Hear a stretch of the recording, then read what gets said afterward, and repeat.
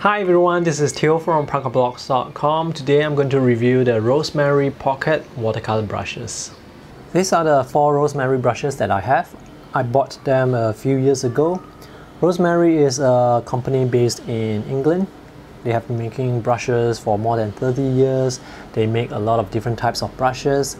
These are the reversible or collapsible pocket watercolor brushes.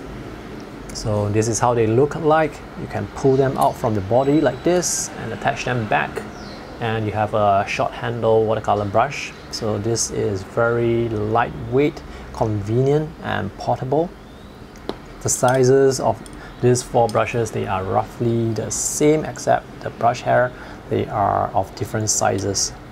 This is the Da Vinci Maestro pocket brush. This is a bit shorter this body here is made of some hard plastic like material. The diameter is slightly larger for the Da Vinci brush and as you can see there are breather holes beneath the body to help dry the brush. Both these brushes are size 6. Let me show you a size 10. This is the size 10 Da Vinci brush. It's significantly larger and this is the size 10 rosemary brush. You can see the body size difference is quite significant. Even for the Da Vinci size 6 versus size 10 the difference in the body size is very significant while the rosemary pocket brushes they are roughly the same size. And this is an Escoda brush so this is slightly longer compared to the Da Vinci and longer than the Rosemary. And this also features a collapsible body. So this is much bigger compared to the Rosemary brush. Three of these brushes here are made of Kolinsky sable hair. One of them is a red sable I've already mixed them up so I can no longer tell which one is which but the performance of Red Sable and Kolinsky Sable they are quite similar. Red Sable is a bit cheaper. One of the most common questions that I get about watercolor brushes is is the brush damaged when the hair is frayed out like this if it doesn't taper to a point when it's dry well as long as it tapers to a point when it's wet it's fine so let me try and wet this brush to show you. As long as it can taper back to a point when it's wet your brush is fine. So this tapers back to a point. Let me try another one. So this is all frayed out.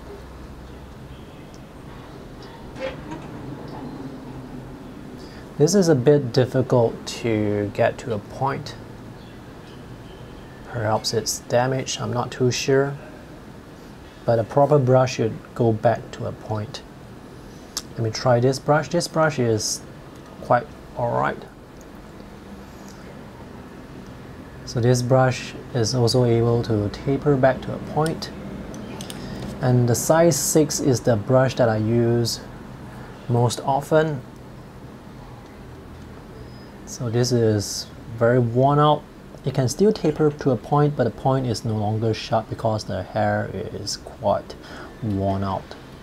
So of all the four brushes, this is the brush that has problem going back to the point. Let me show you the other three.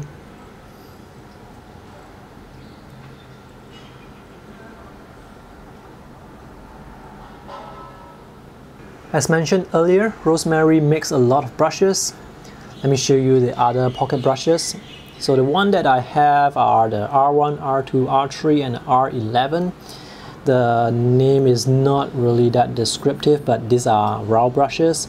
This is a flat brush, this is a Regal brush, this is a Filbert uh, rake brush. I think these two are mop brush. One is a squirrel and one is a sable and this, if I am not wrong, is probably a synthetic brush. So they have a lot of different types of brushes even for pocket brushes like this.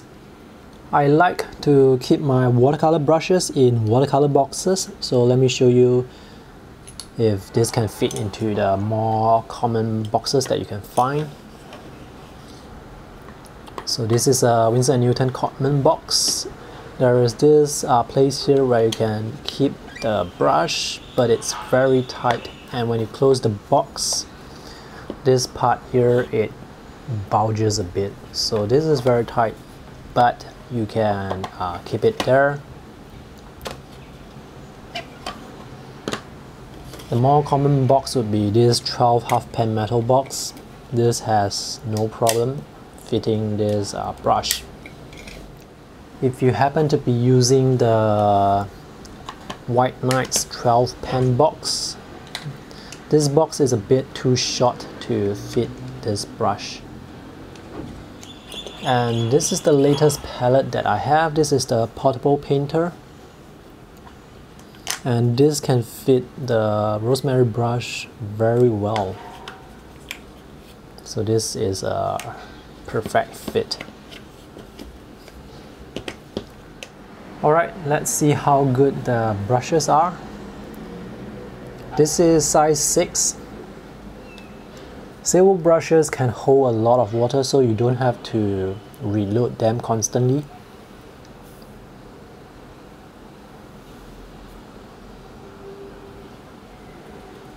This particular brush that I'm using is worn out so I'm not able to get a sharp point anymore but it's still a fantastic brush for painting. So I can get almost 5 strokes before it starts to run dry. And this is for size 6 let me show you a brush that is still quite new. This is probably size 10 it still has its sharp point.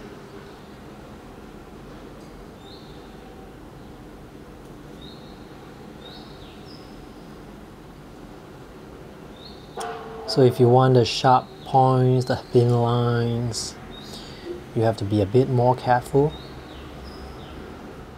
The brush is quite flexible and would always go back to its point. You have to turn the brush around to get that sharp point. And this particular brush can cover a large area. So this is fantastic for um, large washes. The other option is to go for the squirrel brush. And now let's test this brush where the hair is no longer able to keep a point. Even though it's no longer able to keep a point, it is still a fantastic brush for creating large washes like this. This is still usable. I can still get thin strokes you may have to shape the tip a bit but otherwise I think this is still very usable. I like to use my brushes until they are worn out.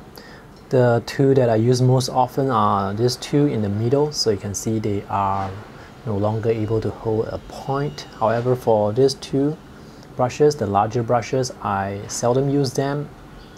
They are still able to keep their point quite well. If you maintain your brushes regularly, they should be able to last a few years. I use this quite frequently, so that's why the hair is worn out. These are sable brushes, so the quality is very good. They are more expensive compared to synthetic brushes, so you do want to take good care of them so that they can last longer. The quality of Rosemary brushes is comparable to Da Vinci and Escoda, so when it comes to choosing collapsible or pocket brushes, I think it comes down to the form factor. Rosemary is somewhere in between in terms of size. Escoda is a bit larger, Da Vinci is a bit shorter for the smaller sizes. So that's all for my review today. If you have any questions, feel free to let me know in the comment section. I will also post a link to my text review in case there are any updates. And if you want to check out my other art product reviews, I will put the playlist at the end of this video.